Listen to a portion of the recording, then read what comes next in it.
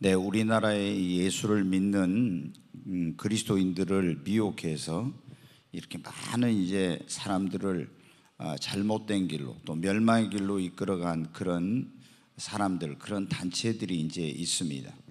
예, 전도관의 박태선이나 통일교회 문선명 또 최근에는 이제 신천지의 그런 이만희 그리고 하나님의 그 교회라고 하는 안상호 하나님의 교회 안상호 그리고 이제 여호와의 증인이나 JMS나 구원파 같은 이런 많은 잘못된 그런 어, 기독교 어, 또 단체 혹은 이단들이 있어요.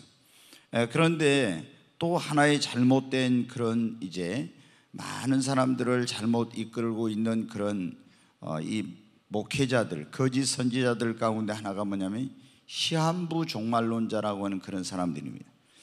지금도 이 보면은 유튜브에서 굉장히 활발하게 움직입니다.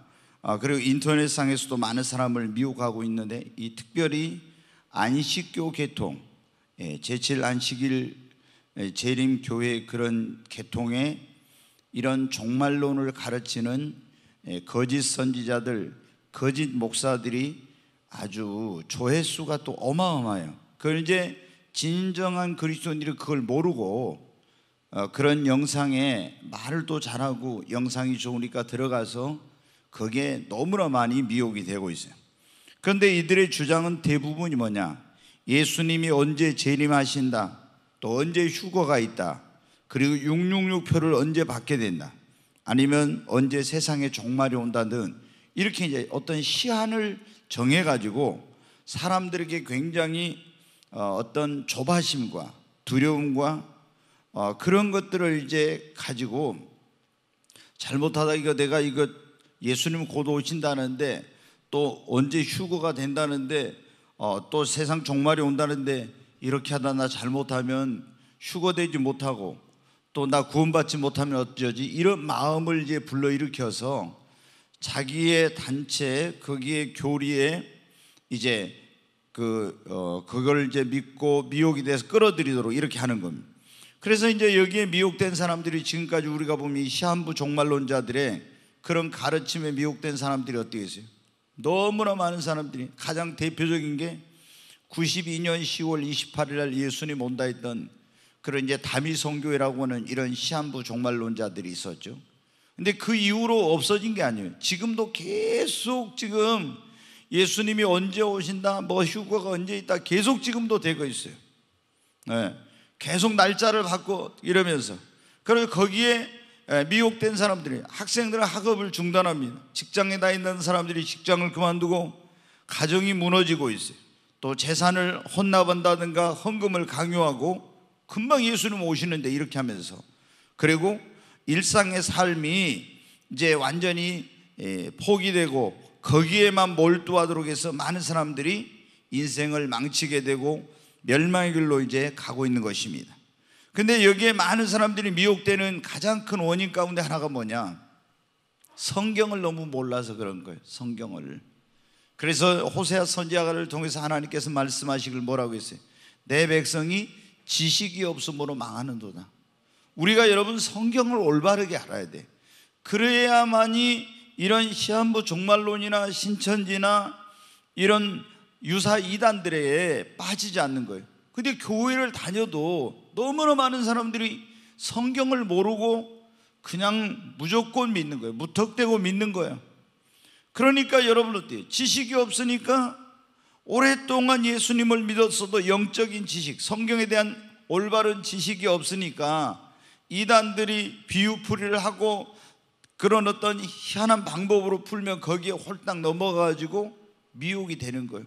그래서 그 이만희 같은 그런 사람을 여러분 어떻게 어떻게 그 사람이 죽지 않고 영생을 한다 이런 걸 믿을 수가 있어요? 근데 그런 것을 다 믿고 받아들여 가지고 몇십만 명이나 되는 사람이 여러분 어떻게 돼? 거기 가서 목숨 바쳐서 그 사람의 꼬복 노릇하고 맹종을 하면서 그렇게 여러분 그를 섬기고 있잖아요. 이게 하나님을 안 믿는 사람이 아니라 믿는 사람, 교회를 안 다니는 사람이 아니라 교회를 다니는 사람, 장로님, 권사님, 심지어 목사들까지도 거기에 미혹돼 가지고 이거는 성경을 몰라서 그런 거예요. 그러니까 우리가 가장 중요한 것은 뭐냐면은 성경을 바르게 아는 거예요. 하나님의 말씀을. 그리고 이제 어떤 사람들은 열심은 있지만 영적인 지식이 없는 거예요. 성경을 몰라. 또 성경에 대해서 뭔가 배우고 싶은데 교회에서는 안 가르쳐 주니까 이것저것 좀 기웃거리다가 이단에 빠지는 경우 얼마나 많습니까? 그리고 평상시에 이제 이단에 빠진 사람들 오면 교회에 대해서 좀 불평이나 불만이 많거나 아니면 올바른 진리를 가르쳐 주는데도 그걸 받아들이지 않는 사람들은 하나님이 그들을 이단에 빠지게 만들어 버린다고 성경에 나와 있어요. 멸망의 길로 가도록. 여러분, 주님은 이미 성경을 통해서 주의 임하심과 세상 끝에는 무슨 징조가 있을 거다. 다 말씀을 해 주셨어요. 여러분 이거 다섯 가지만 알면은 절대 시한부 종말론에 거기에 속아 넘어가지 않아요. 예수님께서 제자들이 이렇게 물었잖아요. 주의 임하신과 세상 끝에는 무슨 징조가 있습니까? 이렇게 물었죠. 그러니까 예수님이 뭐라고 했어요? 너희가 첫째 사람의 미혹을 받지 않도록 조심하라 그랬죠. 많은 사람들이 주님이 오시기 전에 세상 마지막 때 거짓 선자, 거짓 그리스도가 나타나서 주의 이름으로 와가지고 내가 그리스도다, 내가 하나님의 종이다 이러면서 많은 사람을 미혹한대요. 예, 그리고 거짓 기사와 표적을 통해서 할 수만 있으면 하나님의 택하신 자들도 미혹한다겠죠. 그러니까 이 그러려면 미혹하는지 안 하는지 이거 알려면 말씀으로 알아야 되고 영적인 분별력이 있어야 되겠죠. 첫째 이제 미혹을 어, 이런 미혹이 많이 일어나는 걸 보면은 그때 마지막이 가까웠다는 걸 알 수 있어요.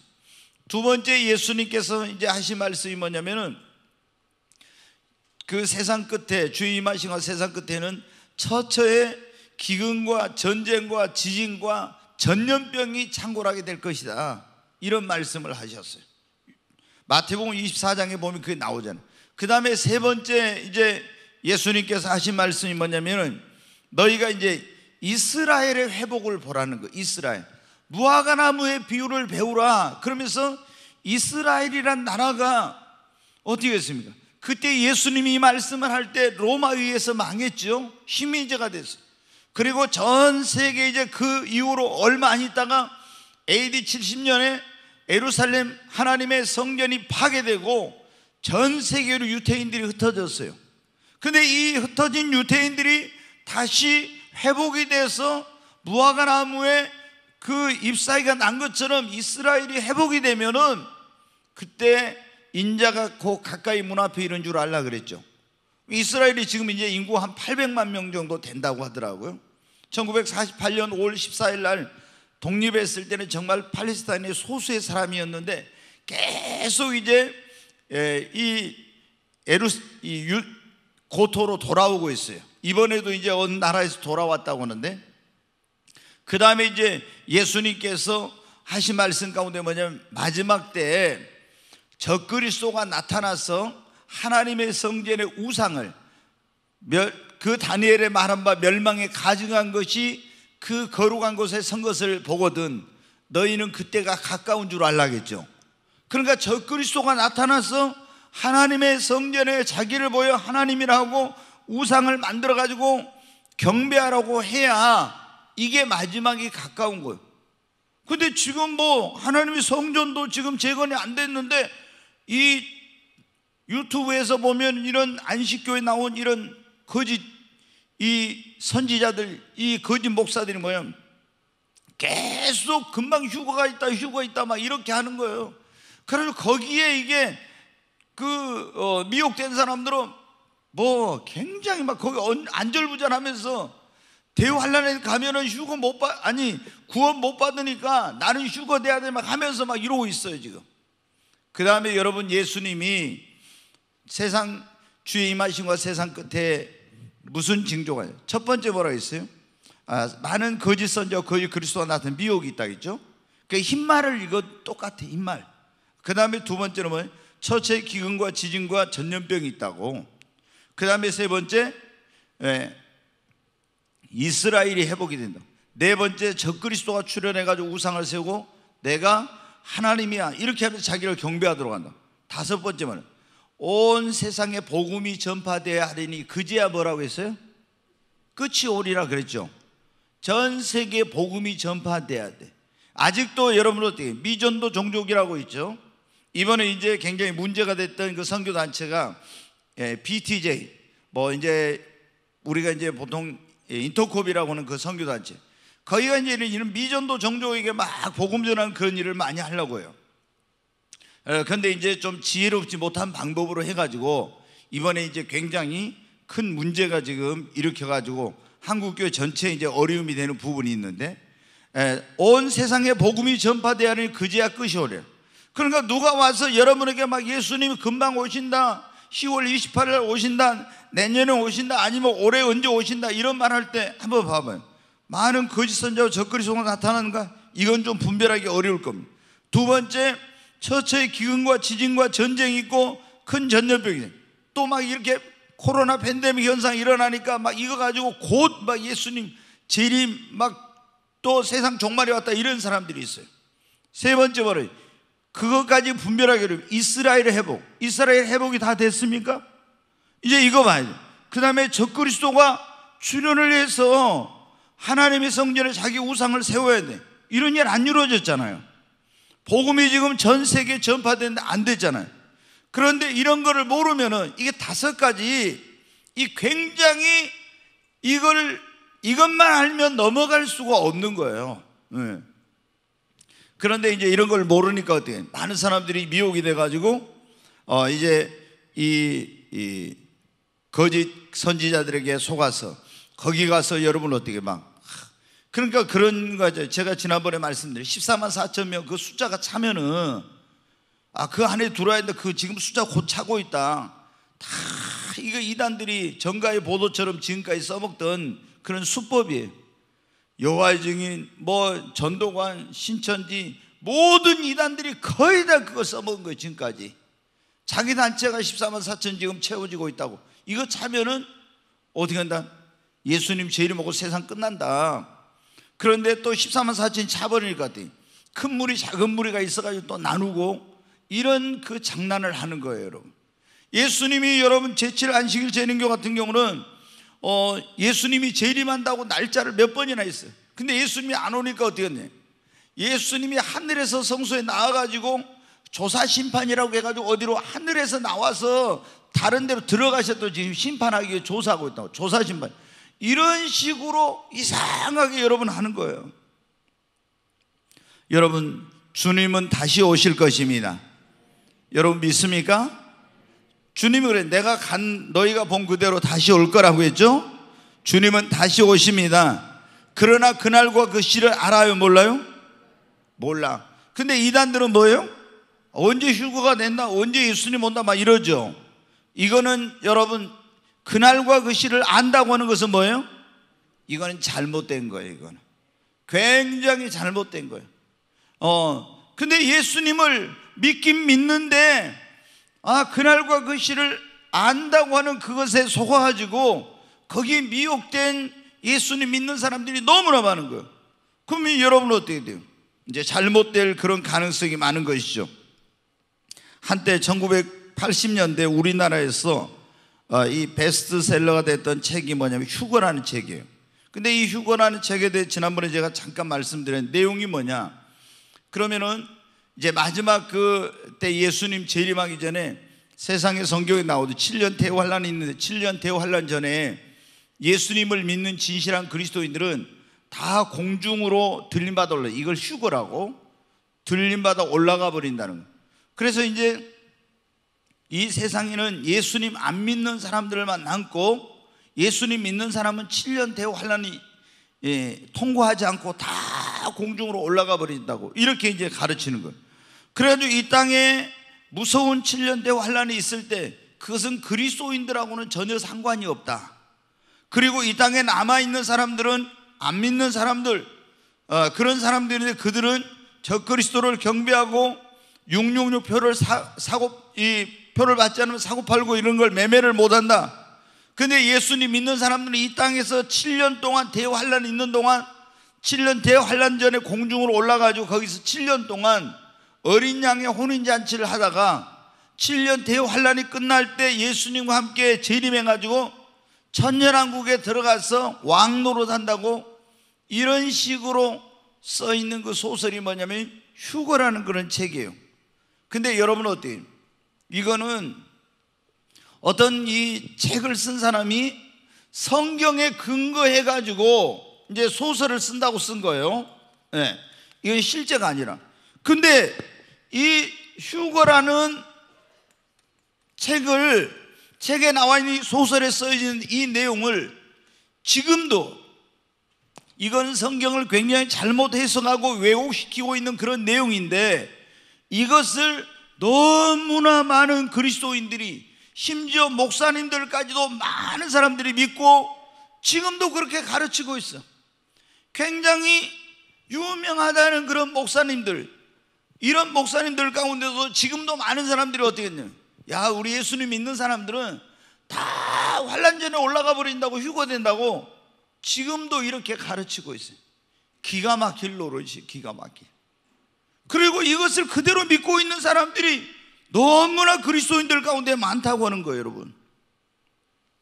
여러분, 성경에 뭐라고 있어요? 성도들의 인내가 여기 있나니 끝까지 뭐라고요? 견디는 자만 뭐라고 있어요? 구원을 얻는다겠죠. 그러면은 환란 전에 다 올라가 버리면 환란 때 무슨 성도들이 인내가 필요해요? 다 올라가 버리는데 그렇잖아요. 근데 환란을 통과하기 때문에 성도들의 믿음이 여기 있나니 성도들의 또 인내가 여기 있나니 끝까지 견디는 자만 뭘 얻는다? 구원을 얻는다 그런 거예요.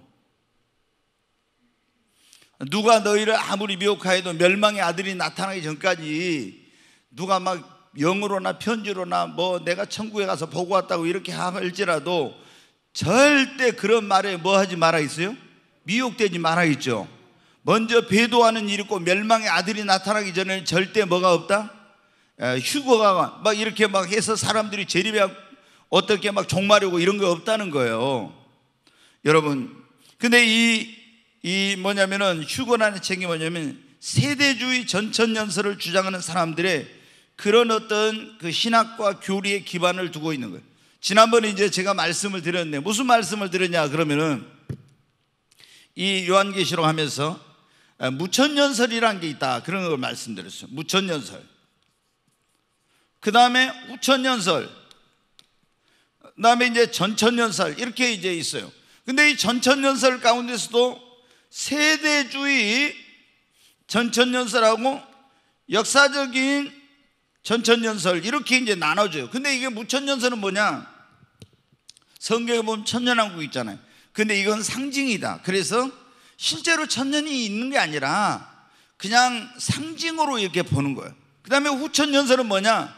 전천연설은 예수님이 재림해가지고 천년왕국이 이루어지는 것이고 후천연설은 먼저 이 세상이 좋아가지고 다 천년왕국이 이루어진 다음에 예수님이 재림한다는 거예요.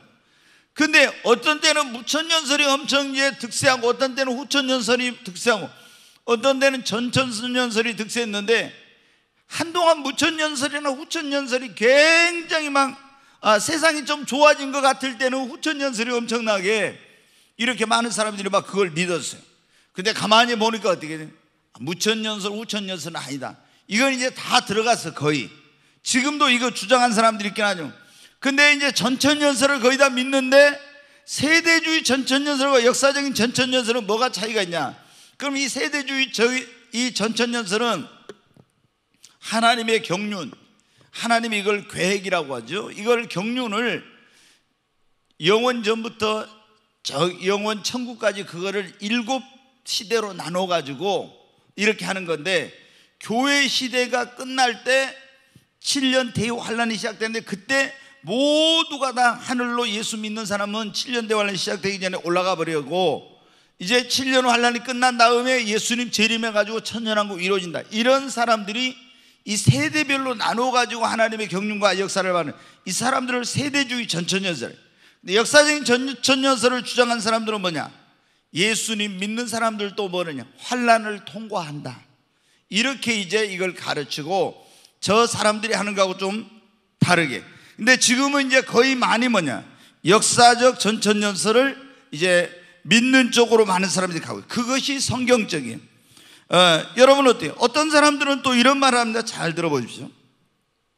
7년 대환란은 우리 예수님 믿는 사람하고 필요 없고 유대인들에게만 이것은 적용이 되는 것이다 그래요.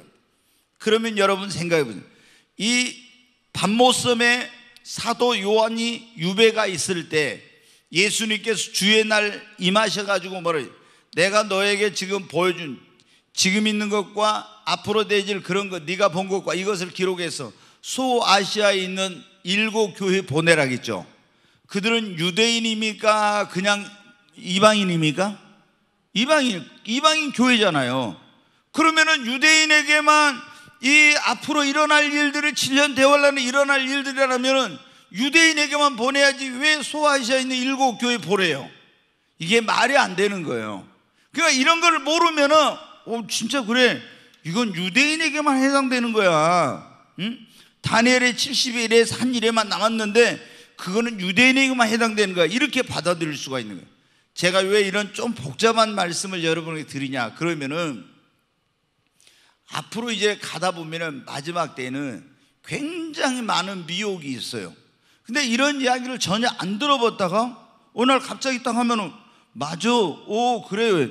해가지고 거기에 미혹이 될 수 있기 때문에 그래도 한번 들어봤으면은 맞아. 그때 목사님이 이런 말씀 하셨었는데 이렇게 기억해가지고 거기 미혹이 안 되는 거예요. 여러분, 제가 이미 여러분에게 앞서 말씀드린 것처럼 대부분의 그리스도인들은 환란을 어떻게 한다고요? 통과하는 거예요. 통과해. 그래서 성도들의 인내가 여기 있나니 끝까지 견디는 자만 뭘 얻으리라? 구원을 얻으리나. 자, 어, 여러분 지난번에 말씀을 드렸는데 하나님의 선민인 유대인들은 어, 추수를 몇 번 한다겠어요? 세 번 한다겠죠. 네. 그 이제 우리가 맥주 감사줄 뭐 그런 거 나오는데 그다음 제일 먼저 어떻게 해요? 첫 열매를 거두는 추수가 있죠. 네, 첫 열매 추수. 그 다음에 이제 본 추수가 있어요. 그 다음에 어떻게 마지막 예, 예, 이삭 죽기를 하는 마지막 추수가 있어요. 근데 지난번에 제가 그런 말씀을 드려요. 이 대환란의 기간 동안에 영혼의 추수, 우리 구원받은 사람들의 영혼을 추수할 때도 하나님께서 이 원리가 그대로 이 원칙이 적용이 돼요. 그래서 첫 열매를 거두는 추수가 있고 본 추수가 있고 마지막 영혼을 거두어드리는 이런 추수가 있어요. 그러면 이 첫 열매를 거두어드리는 건 언제 있으냐? 지난번에 여러분 말씀을 드렸는데 요한계시록 14장 1절부터 5절에 보면은 시온산에서 어린 양 예수님과 함께 새 노래를 부른 사람들이 있었죠. 그 사람들의 숫자가 얼마였어요? 14만 4천 명이었잖아요. 근데 14만 4천 명인데 이 사람들은 거기에 보면 땅에서 속량함을 받은 사람들이라겠죠. 구원함을 받는. 그 다음에 여자로 더불어 더럽히지 않는 순결한 자들이다 그랬죠. 여자는 거기서 타락한 교회 음료를 말한다 했죠. 그 다음에 뭐냐면은 거기에 보면은 어 하나님과 어린 양에 속한 자들이요 땅에서 처음 익은 열매로 그렇게 나와요. 땅에서 처음 익은 열매라고. 그러니까 이 14만 4천 명 14만 4천 명 이 사람들이 누구라고요? 처음 열매, 처음 열매. 그러면 이 사람들은 처음 열매는 뭐냐? 그 지난번에 말씀 이기는 자의 그런 어떤 영혼을 거두어서 휴구하는 거라겠는데 요한계시록 12장 5절 말씀 한번 보겠습니다. 계시록 12장 5절. 같이 한번 읽습니다. 여자가 아들을 낳으리니 이는 장차 철장으로 만국을 다스릴 남자라. 그 아이를 하나님 앞과 그 보좌 앞으로 올려가더라 그랬죠. 여기 보면 여자가 이 여자는 누구라 했어요? 교회다 그랬잖아요. 해를 입은 여자 머리에 열두 별의 관을 쓰고 발에는 달이 있고 그 이것은 바로 교회를 말 근데 이 여자가 아이를 낳았는데 막 용이 죽일라 했잖아요 마귀가 그 교회를 핍박하는 거 근데 이 여자가 아이를 낳아 사내 아이를 낳았는데 남자아이를 낳았는데 근데 이는 장차 철장으로 만국을 다스릴 남자라겠죠. 성경에 철장으로 만국을 다스릴 남자는 딱두 부류예요. 첫째는 하나님의 아들. 예, 내가 어, 너에게 만국을 다스릴 권세를 주나 시편 2편에 보면은 예수님께 대해서 말씀해요. 예수님이 만국을 철장으로 다스려. 그 다음에 계시록 2장 26절 27절인가 거기 보면은 이기는 자에게는 내가 만국을 다스릴 철장으로 권세를 준다겠죠 그래서 성경에 철장으로 온 세상을 만국을 다스릴 권세를 가진 사람은 예수님과 천년왕국에서 예수님과 함께 악노릇하는 누구? 이기는 자들이 이기는 자 그러니까 여기에 여자가 아들을 낳았는데 철장 권세로 만국을 다스릴 남자인데 그 아이가 어디로 올라갔어요? 하나님 앞과 보좌 앞으로 이것이 뭐냐면 천열매 휴거라고 하는 거라고 제가 말씀을 드렸어요. 아, 이제 제가 이렇게 보니까 너무 어렵다 그런데 네, 표정이 보니까 아, 목사님 너무 어려워 그런데 여러분 이게 열심히 요한계시로 어, 이 설교를 좀 들어야 돼, 들어야 돼. 예, 여기 이제 계시록 12장 5절에 나오는 예, 이 이제 여자가 나 여자는 바로 교회를 의미한다 그런 말씀을 드렸어요. 그래서 이제 14만 4천 명 이 숫자가 정확히 말하면은 그런 이 사람들이 바로 첫 열매 7년 대환란에서 이 사람들은 언제냐? 자, 7년 대환란이 이렇게 있으면은 중간이 있으면은 이 전 3년 반 여기 전 3년 반에 이 끝에 적그리스도가 나타나기 전에 이게 첫 열매를 거두어요. 그 다음에 이제 여기 적그리스도가 중간에 나타났어요. 적그리스도가. 그래가지고 이제 적그리스도가 나타나서 이게 자기 경배하라, 우상을 숭배하라, 666 표를 받으라 막 이렇게 하죠. 그럼 본추수 첫 열매는 이 환란 7년 대환란의 전반기의 끝에서 이렇게 이제 첫 열매 휴거가 있었는데 그러면은 본추수는 언제 있냐? 본추수는 적그리스도가 나타난 다음에 잘 이제 들으세요. 적그리스도가 나타나서 우상을 만들고 육육표라를 받으라고는 이때 있고 그 다음에 마지막 추수는 언제냐? 천년 아니 이 7년 대환란이 끝날 때 예수님이 재림한단 말이에요. 재림. 근데 재림할 때 무덤 속에 잠자는 자가 먼저 부활해 가지고 공중으로 올라가고 땅에 있는 사람들도 공중으로 올라가는 휴거가 일어나요. 이거를 뭐라고 하냐면 마지막 추수라고 해요. 마지막 추수. 그러니까 보세요. 첫, 첫 열매 추수, 본 추수, 마지막 추수 있죠. 성경이 그대로 딱딱 맞아요. 여기 첫 열매를 거둔. 그 다음에 본 추수가 여기 있어. 마지막 예수님 재림하기 바로 직전에 부활이 있고 휴거돼서 올라가. 나머지 사람들이. 자, 오늘 이 본문이 이제 제가 뭐를 하려고 이렇게 좀 복잡하게 말씀을 드렸냐. 오늘 본문의 내용이 본추수 후 3년 반 때 적그리스도가 출현한 후 이루어지는 알곡 신자들의 영혼의 추수를 말씀하고 있다는 것을 이거를 지금 설명을 하려고 제가 좀 이렇게 길게 한 거예요. 자, 이제 여기가 7년 뭐 대환란 시작이에요. 7년 대환란 시작. 예. 그러면 이제 여기서 뭐 일곱 인도 있죠. 뭐 우리가 일곱 인, 일곱 뭐가 또 있어요? 예, 나팔. 이제 여기 여기가 이제 일곱 대접장이 있어요. 일곱 대접장. 예. 어, 요거는 이제 일곱 어, 여러분 이제 이거는 전 3년 반에 거의 이루어지는 것인데 일곱 대접은 여기서 이루어져. 근데 이렇게 적그리스도가 지난번에 말씀드렸잖아요. 적그리스도가 중간에 되면 딱 나타나 가지고 땅에서 올라오는 짐승, 바다에서 올라온 짐승이 있었잖아요. 바다에서 올라온 짐승이 뭐라 했어요? 적그리스도. 땅에서 올라온 짐승은 뭐라고요? 거짓 선자라 했죠. 그래가지고 이때 되면 딱 적그리스도가 나와서 하나님의 성전에다 우상을 만들고 자기를 경배하라고 경배하지 않는 사람 다 죽인다겠죠. 그리고 뭐를 받으라고요? 666표를 받으라고. 그래서 많은 사람들이 순교를 하는데 지금 이후로 주 안에서 죽는 자는 뭐라고요? 복대도다 그랬죠. 지난 수요일 날. 우리가 여기서 우상 숭배 안 하고 적그리스도의 그, 어, 절하지 않고 육육표를 안 받으면 많은 사람이 뭐 해요? 순교할 수가 있어, 순교. 근데 지금 이후로 주 안에서 죽는 사람, 순교하는 사람은 복이 있다겠습니다. 자, 그러면은 이제 여기 이제 내용을 자세히 한번 보겠어요. 지금 본 추수에 대해서 말씀은 14장 14절 말씀 다시 한번 보겠습니다. 같이 읽습니다. 또 내가 보니 흰 구름이 있고 구름 위에 인자와 같은 이가 앉으셨는데 그 머리에는 금면류관이 있고 그 손에는 에리안 낫을 가졌더라. 여기 보면 이제 사도 요한이 내가 보니 사도 요한이 봤다는 거. 근데 흰 구름이 있어요. 하늘에. 근데 그 구름 위에 누가 있어요? 인자 같은. 자, 우리가 여러분 어, 이 전에도 여러분에게 말씀을 드렸기 때문에 이제 이거를 조금 어, 아실 거예요.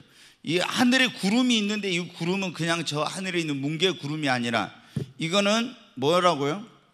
에, 세키나라고 해서 우리가 뭐 세키나 찬양단마 이런 게 있는데 성교단 세키나라고 해서 이게 뭐냐면 하나님의 임재와 영광이 가득한 그런 구름을 말하는 그러니까 성전 봉헌식을 할 때 거기에 막 하나님의 그런 어떤 그 구름이 막 거기 덮였어요.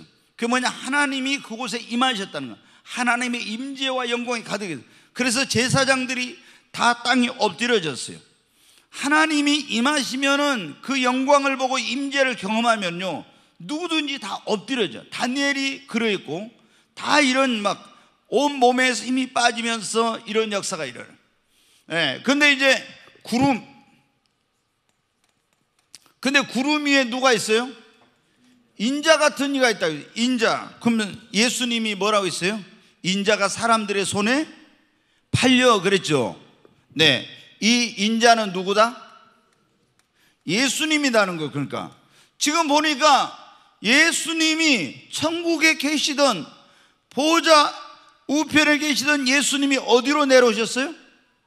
공중에 지금 공중에 구름이 있는 대로 나오신 거예요. 공중에 구름. 그게 이제 지금 보니까 다시 14절 보여주세요. 거기 보니 또 내가 보니 흰 구름이 있고 구름 위에 인자와 같은 이가 앉으셨네 그랬죠. 인자와 같은 신 여기 누구라고요? 예수님이 하늘에 계신 그분이 하늘에 공중에 오신 거예요. 아, 이걸 이제 파루시아라고 하는데 주님이 공중에 재림하셨다는 거예요. 근데 그 머리에 예수님 머리에 인자 같으신 이의 머리에 뭐가 있어요? 금멸류관을 써서 금멸류관. 그 이제 이 승리자가 쓰는 관이 있고 왕이 쓰는 그런 관이 있어요. 근데 이거는 이제 원래 원어에는 어 예, 디아데마락에서 뭐냐면은 왕이 쓰는 관이에요. 스테파노라게 가지고 승리자.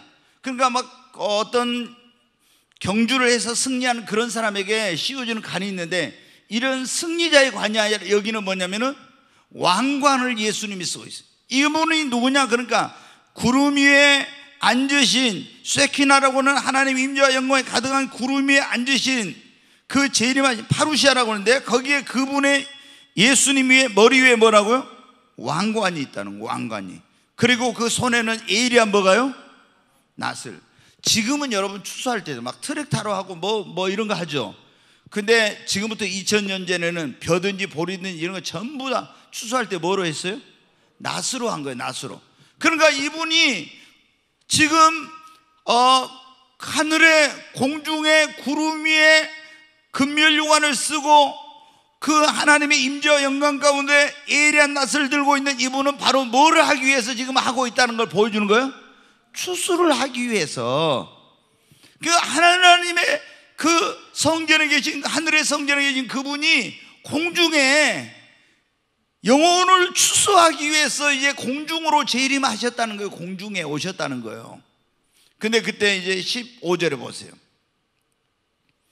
같이 한번 읽습니다.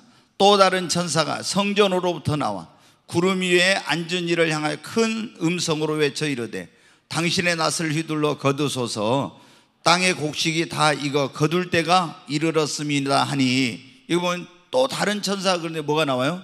하나님의 성전, 하나님의 성전으로부터 하늘로부터 나와. 그리고 구름에 앉으신 이를 향하여 구름에 앉으신 이가 누구라고요? 예수님을 향하여 큰 소리로 외칩니다. 당신의 낯을 휘둘러 뭐 하라고요? 거두소서 추수를 하라고 그런 거예요. 왜? 땅에 지금 곡식이 뭐라고요? 다 이거 거둘 때가 이렇습니다. 여기 곡식은 천사가 나와서 하나님의 성전에서 하나님의 명령을 받아가지고 구름 위에 계신 예수님에게 와서 말하는 거예요. 예수님이 지금 영혼을 추수할 준비를 하고 있는데 큰 음성으로 당신의 낫을 휘둘러 거두소서 익은 영혼들을 추수를 하소서 그런 말씀이에요. 이미 땅의 곡식이 다 이거 거둘 때가 여기서 땅의 곡식은 여러분 어떻게 돼요? 아, 보리, 밀 이게 아니라 뭐예요? 사람의 영혼을 말하는 거예요. 사람의 영혼. 알곡된 신자들이 그 사람들의 영혼을 거두어 드리라는 겁니다. 아멘. 자, 16절 말씀 보겠습니다. 구름 위에 앉으시가 낫을 땅에 휘두르매 땅의 곡식이 거두어지는. 그러니까 예수님이 어떻게 돼요? 하나님이 천사를 보내서 이제 추수를 하라고 하니까 낫을 휘두르니까 추수를 하니까 어떻게 돼요? 익은 곡식들이 다 거두어지더라는 거야. 이게 뭐냐? 자, 좀 전에 말씀드렸 7년 대환란에 천열매 휴거가 있다 했죠. 그 다음에 이 천열매 휴거는 이기는 자의 휴거로서 14만 4천 명이에요. 근데 본추수는 대환란에 예, 대환란 시대 후 3년 반. 예. 이후 3년 반에 그때 적그리스도가 출현한 이후에 일어나는 거예요. 적그리스도가. 적그리스도가 이제 이 중간에 적그리스도가 출현한다 했잖아요. 적그리스도가. 그리고 우상을 만들고 자신에게 경배하라고 666표 받으라고 하고 막 굉장히 고통스러운 시간이 있다 했죠.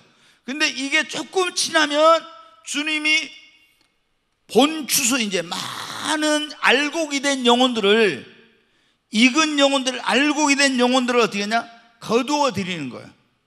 근데 만약에 있잖아요. 여러분 잘 들어봐요. 이 주님이 추수를 할 때 알곡이 못된 사람, 그 영혼이 익어지지 못한 그런 사람들의 경우는 어떻게 돼? 이때 추수가 안 돼. 그러면 이 나머지 기간 동안 환란을 더 견뎌가지고 예수님 재림할 때, 지상 재림할 때, 공중 재림할 지상 재림할 때 그 영혼들이 어떻게 돼요? 그때까지 믿음을 지켰으면 공중으로 올라가서 주님을 영접하는 거예요.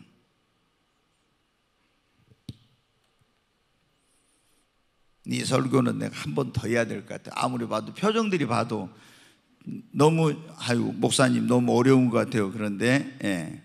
자 여러분 성경에 보면 이제 우리가 잘 중요한 게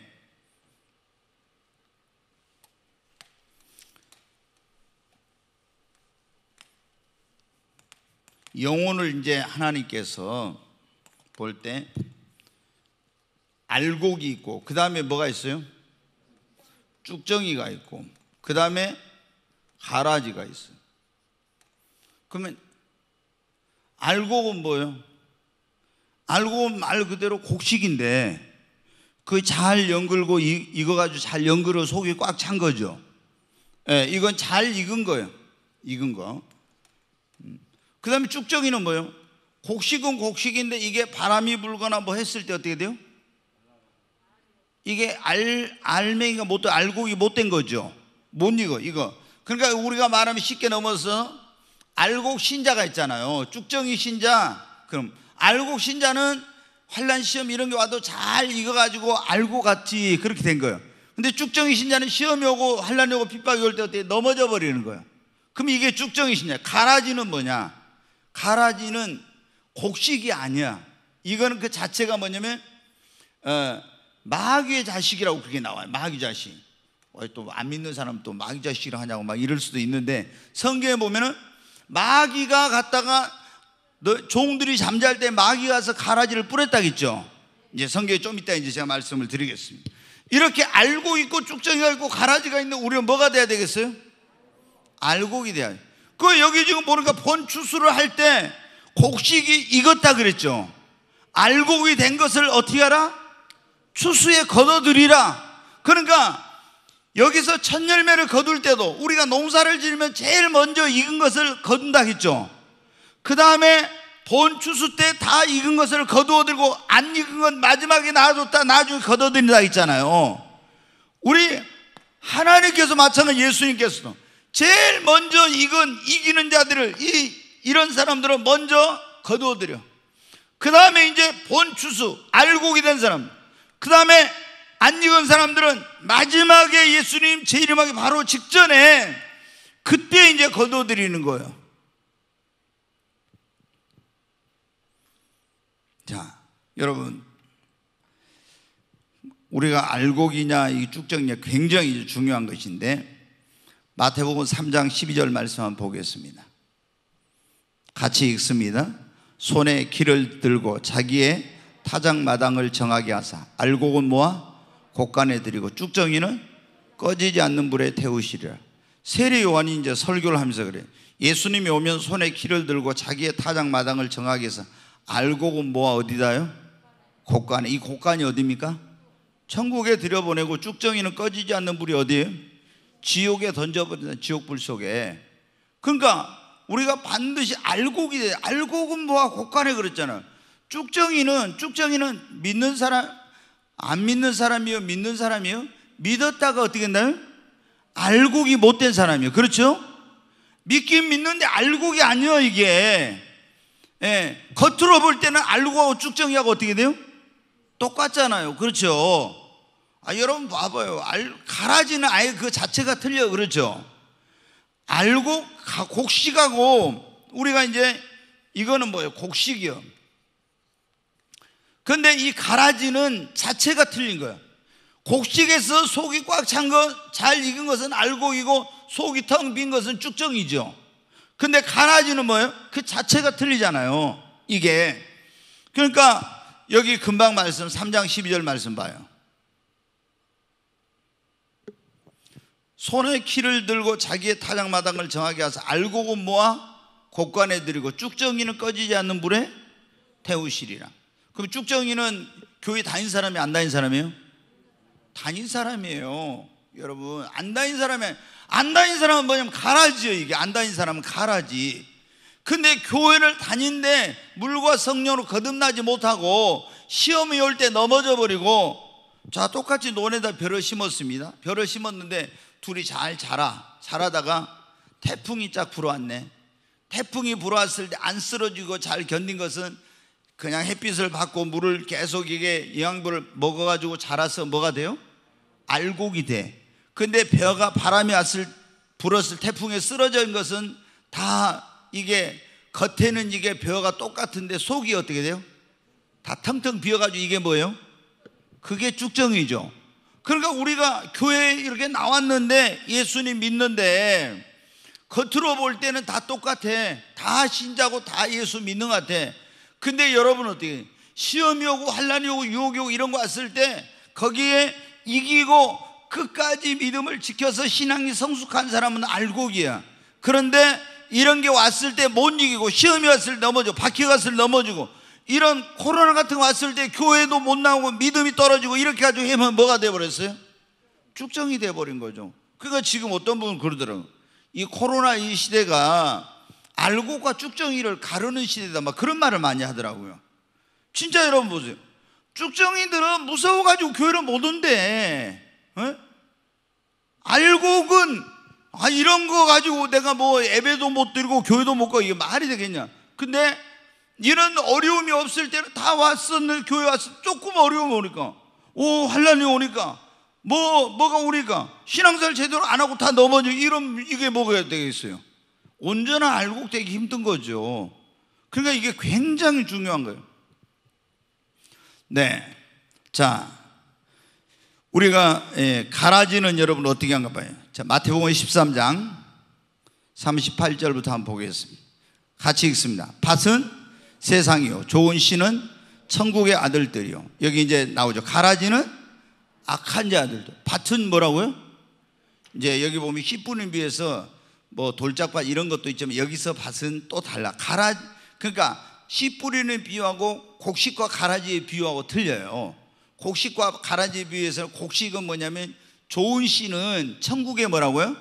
아들들. 밭은 세상. 가라지는 뭐라고 있어요? 악한 자들. 구원받지 못한 사람들이요. 가라지는. 그럼 자, 한번 보겠습니다. 가라지를 뿌린 자는 뿌린 원수는 마귀요. 추수대는 뭐라고요? 세상 끝이요. 추수꾼은 천사들이니 그런즉 가라지를 거두어 불에 사르는 것 같이 세상 끝에도 그러하리라. 그러니까 주님이 뭐라 했어요? 천사를 보내가지고 하나님의 택한 백성들을 모은다겠죠. 딱 모아. 그리고 가라지는 가라지대로 모아가지고 어떻게 돼요? 하나님의 택한 백성들은 천국에 들여보내고 가라지는 어떻게 돼요? 불 속에 던져버린다니까 불 속에. 여기 지금 게 나오잖아요. 다 마지막 절 40절 다시 봐요. 그런즉 가라지를 거둬 불에 사르는 것 같이 세상 끝에도 그러한다 있잖아요. 주님 오시면 이렇게 하는 거예요. 그러니까 우리는 가라지가 돼도 안 되고 쭉정이가 돼도 안 되고 반드시 뭐가 돼요? 알곡이 돼야 합니다. 아멘 네 여러분 예, 우리가 이제 가능하면 이게 휴거가 성경에 보면 이제 휴거가 세 번 있어. 추수가 하나님이 세 번 있는데 예, 이게 이게 이제 천열매 추수. 이건 얼마나 있어요? 14만 4천 명. 아, 이건 대환란의 전 3년 반의 후반부에 대응. 이거는 본 추수. 이 지금 오늘 나오고 있는 것이 대추수예요, 대추수. 이때 이제 어마어마한 사람들이 구원을 받는 거예요. 어마어마한 사람들이 거두 천국으로 올라가는 거예요. 이게 근데 이때 예수님이 어디에 임하신다고요? 공중에 공중에 재림해 지상 아니라 공중에 재림해 가지고 거기서 이제 익은 영혼들을 거두어 추수를 하는 거예요. 영혼 영혼을. 근데 이때 이거를 뭐라면 대추수라고 그래. 대추수. 어마어마한 추수가 이때 이루어진 거예요. 우리가 농사를 지을 때도 처음에는 조금 하고 본격적인 추수 때 많이 하잖아요. 그 똑같아요. 마찬가지. 그 나머지 이제 이때 하는 거예요. 근데 이때 익은 알곡들만, 예, 알곡만 거두어. 알곡. 그래가지고 이제 예, 한데 지금 보니까 여기는 그러니까 여기 보십시오. 자, 첫 열매 이 휴거된 사람들도 환란을 좀 통과해요, 안 해요? 하죠. 전 3년 반에 후반부에 가니까 어느 정도 환란을 통과해. 이 사람들은 후 7년 대학을 후 3년 반 동안에 이건 휴거 그 추수를 되니까 더 많이 통과하죠. 더 많이. 그 다음에 이제 이 사람들은 어떻게 돼요? 안 익었으니까 익을 때까지 이게 돼야 되니까 마지막에 가서 이제 어 이게 휴거가 되는 거예요. 그러니까 하여튼 우리는 여기서 되면 제일 좋죠. 아멘. 여기서 안 되면 반드시 어디서 돼야 돼요? 이 본추수 할 때 여러분 대추수 때 돼야 됩니다.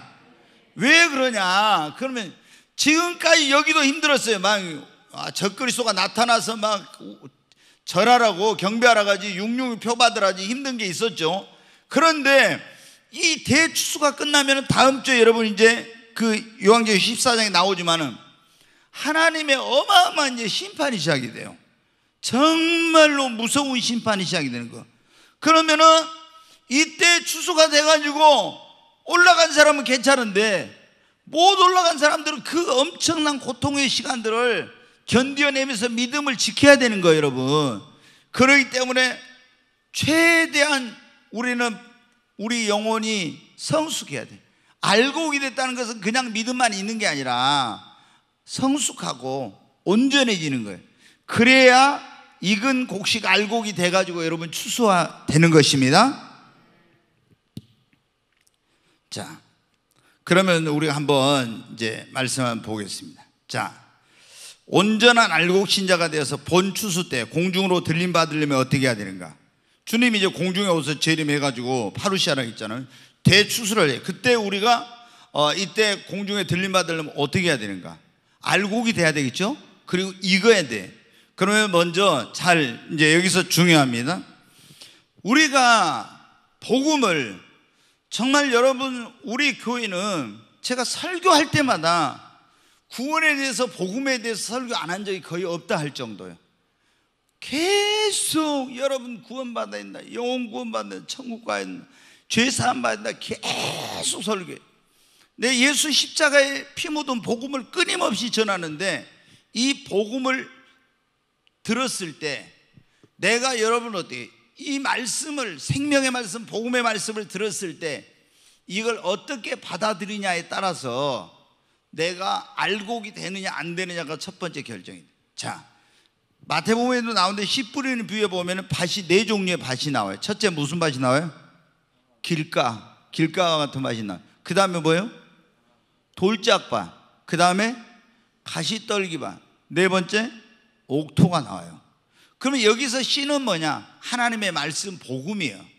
그런데 똑같은 씨를 뿌렸는데 길가에 떨어진 것은 싹이 나지도 못하고 뭐가 와서 주워 먹어버렸어요? 새가 와서 이 새를 뭐라 했어요? 마귀. 우리가 말씀을 딱 들었어. 설교자가 말씀을 전에 들었는데 이 말씀이 내 영혼 안에 들어와서 싹이 나기도 전에 마귀가 이 말씀을 구원 얻지 못하게 하려고 싹 뺏어가 버리다. 그래서 내 설교를 듣긴 들었는데 나가면서 생각할 것 같아요. 아무것도 없어. 아니 한 시간 내 설교를 들었는데 나갈 때 보니까 아무것도 없어. 뭐 들었죠 오늘? 그럼 꼴밤을 하나 줘야 돼. 그 이제 여러분 그래서 어떻게 해? 여러분 구원 얻지 못하게 하려고 마귀가 어쩐지 아세요? 말씀 들을 때 헛생각을 넣어줘. 나 오면 집에 가스레인지 아무래도 안 끄고 온 것 같다. 뭐 갑자기 그래. 그러면 이제 안절부절해도 말씀이 하나도 안 들어와 이제 막 아 빨리 왜 오늘 예배가 이렇게 길어? 빨리 좀 끝나야지 막 이런. 그 다음에 어떻게 해? 졸음을 엄청나게 많이 갖다 줘. 졸음. 그럼 졸으면 여러분 어때? 말씀이 들어요 안 들어요? 안 들어죠. 당연히. 그 말씀을 아무리 들어도 길가와 같은 마음으로 받으면은 이제 길가는 사람이 많이 다니고 딱딱하잖아요. 그러니까 자기 막 마음속에 지식이나 막 이런 게 많은 사람들은 말씀을 잘 안 받아들여. 딱딱한 길가와 같이. 그러면 이게 구원 얻기가 힘들어요. 두 번째 돌짝바. 돌짝바에 떨어진데 그건 예수님이 해석을 했어요. 말씀을 받을 때 기쁨을 받았으나 뿌리가 없어서 환란이나 핍박이 올 때 넘어지는 자라겠죠. 그러면 이거 오기 돼요? 못 돼요? 못 돼요. 세 번째 가시떨기 속에 떨어진 시. 그건 뭐 말씀을 들었는데 마음속에 세상의 염려와 근심과 죄의 유혹이 있어가지고 말씀대로 못 살아. 그럼 이게 열매를 맺어요? 못해? 알고기 못돼. 알고기 못돼. 오직 예수님 말씀해 주죠. 좋은 땅에 떨어진 것은 30배, 60배, 100배가 되었느니라. 그러니까 말씀, 복음의 말씀을 들었는데 똑같이 오늘 여기 들었어요. 그런데 여기 마음이 지금 여러분 이 네 종류 가운데 한 가지요. 어떤 사람은 길가요. 어떤 사람은 돌짝밭, 어떤 사람은 가시밭, 어떤 사람은 옥토요. 또 옥토도 진짜 좋은 옥토는 100배의 열매를. 근데 어떤 것은 60배, 어떤 것은 30배, 어떤 건 뭐 10배 이렇게 되겠죠. 근데 여러분은 어떻게 돼요? 그러니까 말씀을 듣는 것이 굉장히 중요한데 아무리 복음을 전해도 말씀을 제대로 이 복음의 말씀을 안 받아들이면 내 영혼이 구원받을 수 있다 없다? 없다는 거예요. 없다는 거. 그러니까 내가 진짜 복음을 받으려고 구원을 받으려면은 내가 하나님의 복음의 말씀을 들을 때 우리 심령이 옥토가 돼야 됩니다. 네. 그리고 이제 뭐냐면 이렇게 주님의 말씀을 사모하는 마음 이런 마음으로 받아야 되죠. 듣고 우리의 심령이 물과 성령으로 어떻게 돼요? 거듭나야 합니다. 자, 요한복음 3장 말씀 한번 보겠습니다. 같이 읽습니다. 예수께서 대답하 이르시되 진실로 진실로 내기로는 사람이 거듭나지 아니하면 하나님 나라를 볼 수 없느니라. 니고데모라는 어, 이 유대인의 관원이요 라비요 그리고 사내들인 공회원 가운데 한 사람. 이 사내들인이라는 게 어마어마한 거. 그러니까 어, 우리나라는 행정, 입법, 사법 이렇게 이제 상권이 분리되어 있잖아요. 근데 이 유대인의 사내들이라는 것은 이 삼권이 다 하나로 가지고 있는 그런 대단한 그런 기관이에요. 근데 이 니고데모라는 사람은 그런 어떤 사내들은 공회 회원이고 유대인의 랍비 가장 존경받는 그런 사람. 그리고 조상 대대로 하나님을 믿는 사람인데 이 사람이 예수님을 밤에 찾아왔는데 예수님이 뭐라 했어요? 내가 진실로 진실로 내기로는 사람이 거듭나지 않으면 하나님 나 볼 수 없다고. 다시 태어나야 되는데 이게 뭐냐면 거듭나야 된다. 이거 이 말은 뭐냐면 위로부터 나지 아니하면 그런 말. 그러니까 육으로 난 것은 육이요, 영으로 난 것은 영이래. 다시 태어난 것은 육적으로 태어난 것이 아니라 위로부터 이걸 태어난 다시 신생. 그냥 영적으로 다시 나야 된다. 우리 죄악물로 죽은 영혼이 다시 나야 된다. 그런 사람만이 어디를 볼 수 있다? 하나님의 나라를 볼 수 있다. 자, 5절 말씀 한번 다시 보겠습니다. 네, 같이 읽습니다. 예수께서 대답하시되 진실로 진실로 내게 이르노니 사람이 물과 성령으로 나지 않으면 하나님 나라에 들어갈 수 없느니라. 이제 어, 거듭나야 되겠다는데 어, 거듭나지 않으면 하나님 나 볼 수 없다니까 어, 어떻게 날 수 있어요? 어머니 태 속에 들어갔다 날 수 있습니까? 이렇게 물었어요. 그러니까 육으로 난 것은 육이요, 어, 영으로 난 것은 영이니 내가 너에게 거듭나야겠다는 말을 기억하지 말라. 사람이 물과 성령으로 나지 않으면 하나님 나라 들어갈 수 없다. 여기서 뭐냐면 하나님의 말씀과 성령으로 죄 허물로 죽었던 내 영혼이 다시 태어나야 된다는 거야. 아멘. 그러니까 너희가 베드로전서에 보면 그런 말, 너희가 거듭난 것이 썩어질 시로 된 것이 아니라 살아있고 항상 있는 하나님의 말씀으로 되었느니라. 여러분 하나님의 말씀으로 우리가 거듭난 거예요. 그러니까 복음의 말씀을 들을 때 이 말씀을 내가 믿음으로 아멘으로 좋은 밭이 되어서 사모하는 마음으로 듣고 믿고 그렇게 하면은 이 말씀으로 말면 성령의 역사로 말면 내가 하나님의 자녀로 새 생명으로 거듭나게 되는 것입니다. 근데 자, 이제 우리가 중요해. 그러면 내가 이렇게 예수님을 복음을 듣고 예수님을 물 어, 영접해가지고 물과 성령으로 거듭나서 그러면은 우리가 하나님의 자녀가 되었죠. 근데 태어났다고 해서 바로 익은 것은 아니잖아요. 그렇죠? 예, 익어야만이 추수를 한다고 했잖아요. 알곡으로 익어야만이. 내 안에 하나님의 생명은 있어. 그런데 이제 이게 알곡이 돼서 하나님이 우리 주님이 우리를 추수하려면 어떻게 돼요? 내가 계속 성숙하고 내 믿음이 자라가야 되는 것입니다. 아멘. 예. 네, 그런 과정이 이제 필요한 거예요. 자, 어, 이제 첫 번째는 뭐라 했어요? 우리가 좋은 밭이 돼야 된다. 그 다음에 물과 성령으로 거듭나야 된다. 세 번째, 늘 회개하면서 거룩하게 살고 회개에 합당한 열매를 알고 되려면 맺어야 돼. 자, 마태복음 3장 8절부터 한번 보겠습니다. 같이 읽습니다. 그러므로 회개에 합당한 열매를 맺고 속으로 아브라함이 우리 조상이라고 생각하지 말라. 내가 너희에게 이르노니 하나님이 능히 이 돌들로도 아브라함의 자손이 되게 하시리라. 이미 도끼가 나무 뿌리에 놓였으니 좋은 열매를 맺지 아니하는 나무마다 찍혀 불에 던져지리라. 네, 여기 이제 뭐냐면은 어, 바리새인들과 사두개인들이 막 세례 주는데 왔어요. 그러니까 그 사람들이 속으로 이런 생각을 아, 우리 조상이 아브라함인데 우리는 뭐 2000년 동안 예수 믿었 아니 하나님 믿었는데 막 이런 말을 한 거예요. 그러니까 좋은 열매를 맺어야 된다. 회개 합당한 열매를 좋은 열매를 맺지 않으면은 여기 뭐라고 있어요? 나무마다 찍혀 불에 던지게 된다. 하나님의 심판을 피할 수 없다고 이렇게 한 거예요. 그러니까 우리가 여러분 어때요? 자, 복음을 듣고 예수님을 영접하고 이제 그랬어요. 그 다음에 우리의 삶 속에 거룩하게 살면서 회개에 합당한 열매를 맺어야 됩니다. 아멘. 근데 여러분 보세요. 오늘날 잘못된 게 제가 그래서 늘 강조하잖아요. 아, 이 요즘은 이 교회들이 회개하라는 말을 안 해요. 천국 지옥 설교도 안 해요. 굉장히 오늘날 이 설교들이 뭐냐면 윤리와 도덕 이런 아니면 뭐 축복 이런 것만 설교를 해. 정말로 중요한 것이 얼마나 이게 영혼 구원이 중요한 천국 지옥 설교를 안 해. 왜? 지옥 설교하면 예수 안 믿으면 지옥 간다 이런 말 하면 사람들이 안 좋아한다고 해가지고. 근데 이게 무서운 거예요, 여러분. 사람들이 굉장히 듣기 좋은 말만 막 해. 듣기 좋은 말만. 근데 우리가 가서 듣기 좋은 소리만 들었다가 나중에 어떻게 돼요? 내 영혼이 어떻게 돼요? 절대 그거 안 돼. 예수님이 항상 전하는 게 뭡니까? 천국과 지옥이요. 아멘. 그렇잖아요. 그것보다 더 중요한 거 없어. 근데 우리가 여러분 어떻게 반드시 예수님을 믿으면 우리의 삶에 회개에 합당한 열매를 맺어야 됩니다. 그 예수님 믿어도 여러분 어때? 여전히 죄 가운데 살고 여전히 세상에 예수님 안 믿는 사람하고 똑같은 그리고 과거의 그 삶을 그대로 반복하고 있으면 그건 구원받지 못한 거예요. 이 유대인들이 여러분 어떻게 그 세례 요한이 왜 책망하냐?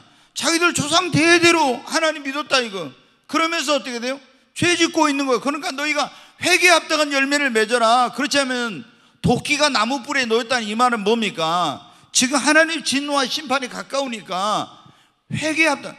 너희가 속으로 우리는 아브라함의 자손이라고 그렇게 어? 너희들 자랑하지 말아요. 하나님이 돌들로도 아브라함의 자손이 되게 할 수 있다고 하면서 그런 영적인 교만함 이런 것을 어, 선민 의식, 잘못된 선민 의식을 버리라는 거예요.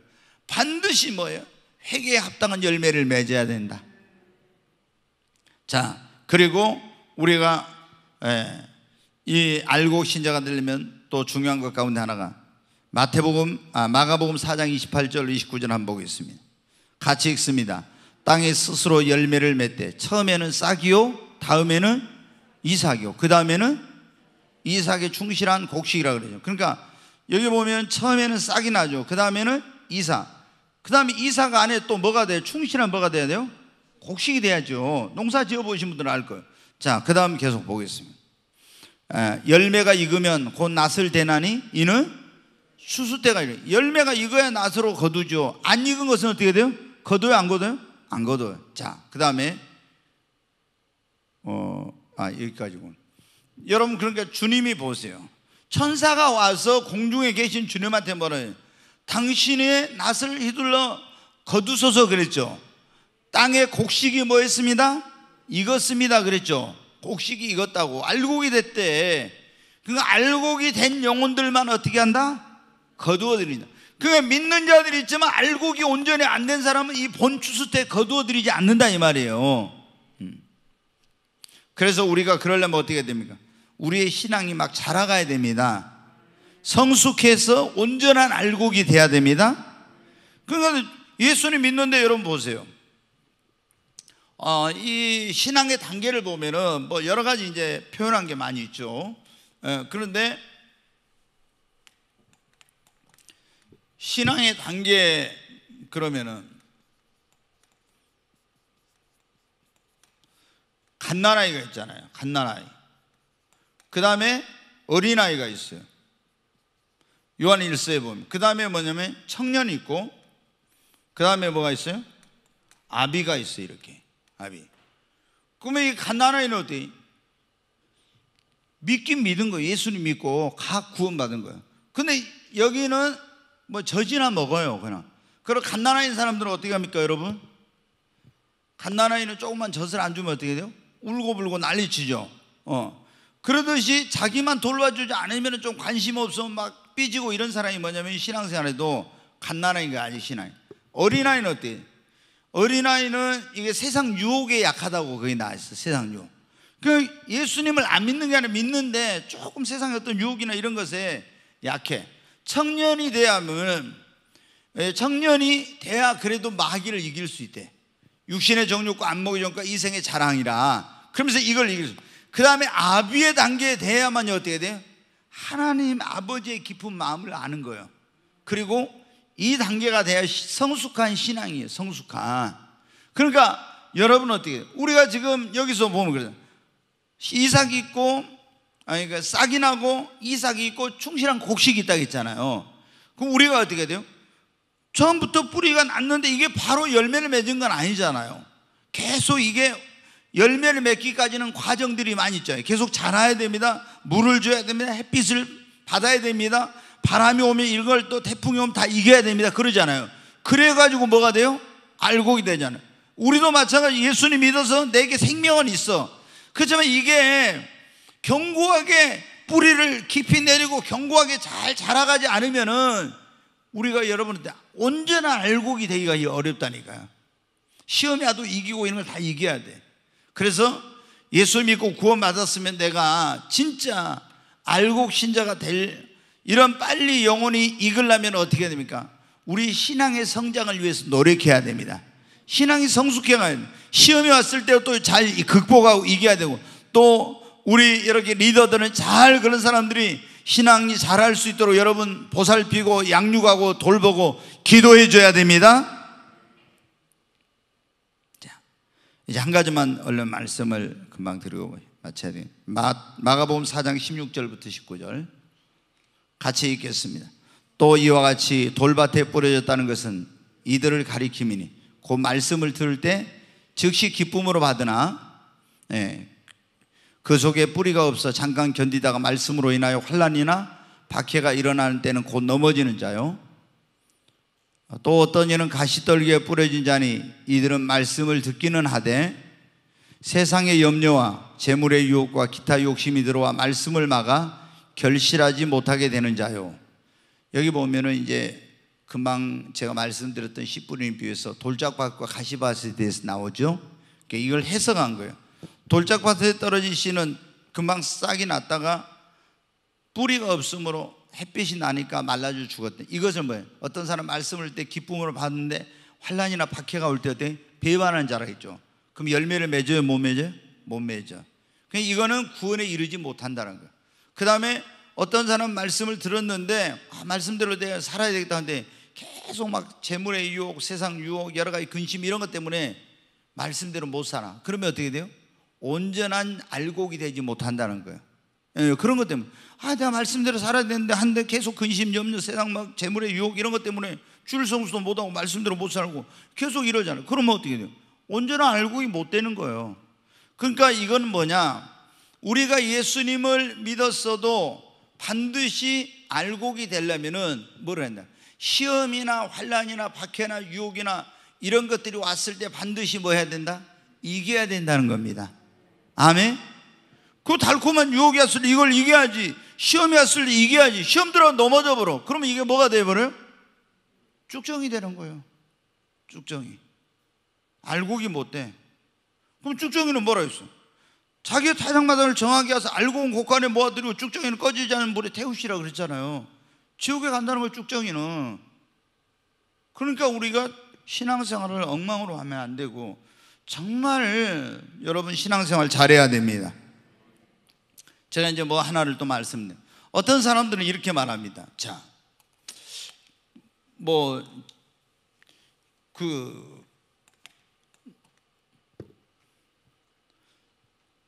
아까 조금 전에 말씀 세대주의 전천연설을 주장한 사람도 그러고 있고 또 이제 유튜브 같은 이런 데서 잘못 굉장히 잘못 가르치는 사람들 내가 지금 보면은 어 이런 사람들이 뭐라면 대환란 기간 동안엔 절대 구원받지 못하기 때문에 휴거가 돼야 된다.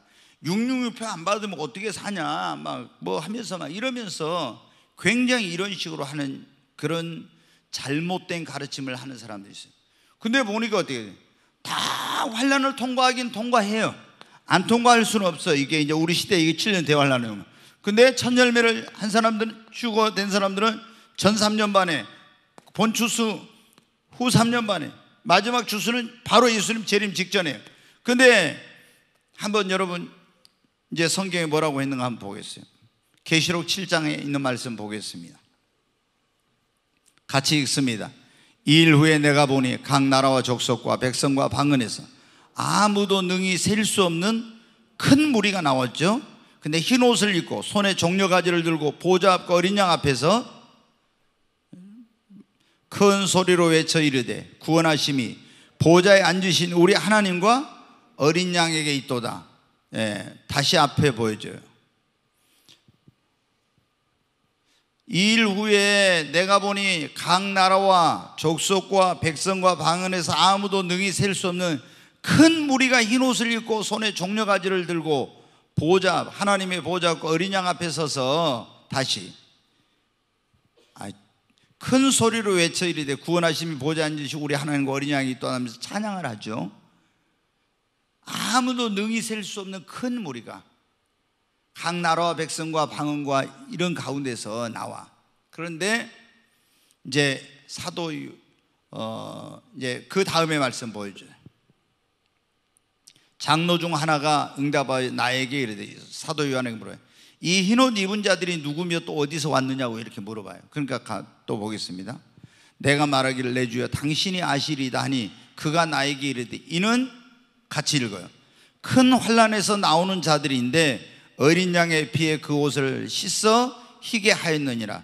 이 능히 셀 수 없는 큰 물이 나라와 민족과 방언 가운데 나서 하나님의 보좌 앞과 어린 양 앞에서 노래를 부르며 하나님께 찬양과 영광을 돌린 이들이 큰 무리 이 흰옷을 입은 무리가 어디서 나왔다고요? 예? 큰 환란에서 나왔다고 했잖아요. 큰 환란에서 나오는 자들이 어린 양의 피에 그곳을 씻어 희게 하였나 이 말은 이 사람들이 뭐한 사람들이다? 구원받은 사람이라는 거죠. 그러면 큰 환란, 대환란의 때 구원받은 사람이 적다 많다? 많다는 거예요. 많다는 거. 능히 셀 수 없는 큰 무리가 나왔다 했잖아요. 아멘? 왜 제가 이런 말씀을 여러분이 드리냐? 그러면 이 유튜브나 이런 데서 이 잘못된 이단들이 뭐라고 하냐면 또 이단이 아니어도 이 잘못 가르치는 사람들이 절대 환란을 구원 못 받는다고 막 이렇게 가르쳐요. 절대. 그러니까 여러분 환란 전에 휴거돼 갖고 올라가야 됩니다. 막 올라가야 됩니다 하면서 굉장히 막 이렇게 한다 이거. 어떻게 적그리스도에게 절하지 않고 우상이 절하지 않고 육육표 안 받고 어떻게 사냐고 막 이러면서. 근데 성경은 여러분 뭐라고 있어요? 큰 환란에서 구원받은 사람이 많다 적다? 많아요 여러분. 그렇잖아요. 능히 셀 수 없는 큰 무리가 흰 옷을 입고 나왔는데 그들이 어린 양의 피에 그 옷을 씻어 희게 하였느니라. 구원받았다는 거예요. 여러분 그러니까 우리가 첫 열매로 올라가면 좋죠 그러나 못하면 어떻게 돼요? 반드시 믿음을 지켜서 여러분 우리는 본 추수에 들림받을 수 있도록 해야 됩니다 그 만약에 그때 못하면 어떻게 돼요? 그럼 이제 환란을 또 끝까지 통과해야 되겠죠 그때도 죽, 죽으면 죽으리라 그런 신앙으로 여러분 믿음을 지키면서 우리의 신앙이 우리 영혼이 여러분 알곡이 돼야 됩니다 만약에 여기서 본추수 때 안 되고 내 시대에 이런 일이 일어나 여기 여기를 통과하기 나머지 그 일곱 대접 쏟아지고 막 포도송이 심판 다음 주에 나오는데 그런 거 할 때 여기 통과할 때 어마어마한 일이 일어나는데 이때 통과하면서 거기서 배반해 버리면 여러분 어떻게 돼? 지옥 가는 거예요. 아무리 힘들어도 이 기간이 길어봤자 얼마 안 돼요. 고대 예수님 재림이 하는 거예요. 근데 막 일곱 대접 쏟아지면 엄청나죠. 이제 지상에. 아, 그러니까 저 때가 정말로 무서운 때인데 그래도 우리는 반드시 어떤 시험 환란도 이겨야 됩니다. 못 이기고 믿음을 못 지키면 뭐가 돼버려요? 쭉정이 되는 거예요. 그럼 불 속에 가는 거죠. 지금 여러분 우리의 신앙을 다시 한번 점검해 봐요. 나는 정말로 물과 성령으로 거듭난 하나님의 자녀인가? 여러분 진짜 거듭났습니까? 그냥 교회만 다니면 안 돼요. 그건 쭉정이에요. 쭉정이는 꺼지지 않는 불에 들어간다 했잖아요. 우리는 알고 신자가 돼야 됩니다. 회개에 합당한 열매를 맺어야 합니다. 나의 신앙이 성숙해 가야 돼요. 왜 우리가 환란이 오고 시험이 오면 못 이깁니까? 믿음이 잘하지 않아서 그런 거예요. 믿음이 잘하지 않아서. 믿음이 성장하고 큰 믿음을 있으면 다 이겨. 근데 믿음이 약하니까 못 이기는 거예요. 그래서 여러분 우리가 믿음의 성장을 위해서 애를 써야 됩니다. 그리고 어떤 시험 환란이 와도 끝까지 여러분 승리해야 됩니다. 이 같은 여러분 어떻게 돼? 코로나 이게 무서워가지고 신앙생활 제대로 못한다. 그럼 여러분 육육표 받으라고 만약에 하고 저 그리스도의 경배 그안 하거나 그 우상에 절하지 않으면 다 죽인다 그러면 여러분 어떻게 하겠어요? 100%다 이런 코로나도 못 이기면은 다 표 받고 다 거기 절하게 돼 있어요. 그럼 어디 갑니까, 여러분? 지옥까지. 그러니까 지금 이런 작은 환란 시험 올 때부터 우리가 철저히 믿음으로 이것을 이겨내는 훈련을 해야 돼요. 여러분 다시 말씀드리는 이 세상은 잠시 잠깐이에요. 우리가 가야 될 세계는 두 가지 천국이냐 지옥이냐예요. 우리가 알곡이 되고 믿음을 지켜야만이 여러분 영원한 천국에 갑니다. 지금 우리가 이 땅에 살면서는 때로는 힘들 때도 있고 어려울 때도 있어요. 그러나 주님이 그랬잖아요. 이제 요한계시록에 다 나와요 우리 눈에 눈물을 닦아주시고 영원히 고통과 슬픔과 아픔과 이별이 없는 그곳에서 주님과 함께 영생 복락을 누릴 수 있는 거예요 이 요한계시록을 기록한 목적이 뭡니까? 고난 가운데 있는 성도들에게 너희들 환란을 두려워하지 말해. 세상에 그런 핍박을 두려워하지 말고 영원한 천국을 바라보고 천국의 소망을 두고 신앙생활 하라는 겁니다. 우리 승리하는 저와 여러분이 되십시다.